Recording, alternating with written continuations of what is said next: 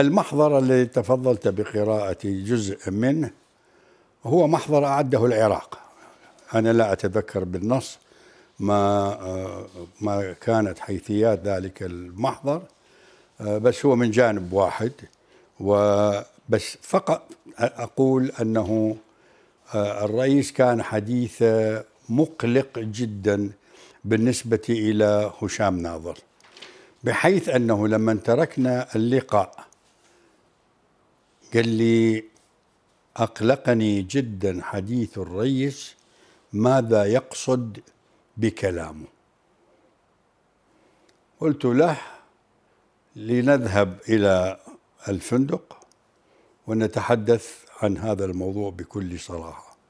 وأنا التقيت معه وشرحت له خطورة هذا الموقف وتأثيره على العراق.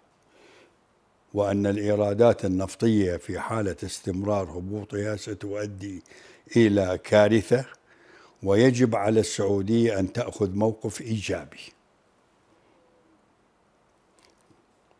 وفي ذلك اللقاء كان المقترح السعودي هو أنه كما ذكرت ماكو داعي إلى مؤتمر قمة وإنما حتى قال أترك الموضوع يمك ويم أخوك.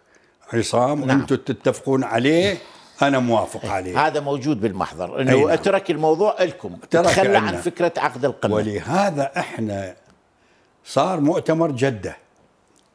لا بس أريد هاي النقطة مهمة بالنسبة لي.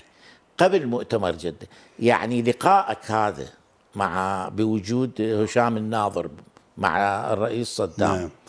ماذا خرجت أنت بانطباع أيضا؟ هو أقلق الكلام هذا. أنا كلام خطير هذا. بصراحة شخصيا لم يكن بذهني موضوع الحرب.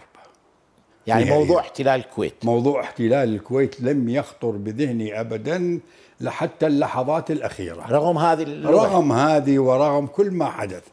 يعني أنا حتى في جنيف في الأيام الأخيرة في مؤتمر الأوبك سئلت من قبل الصحفيين لماذا الحشود العسكرية العراقية على الحدود؟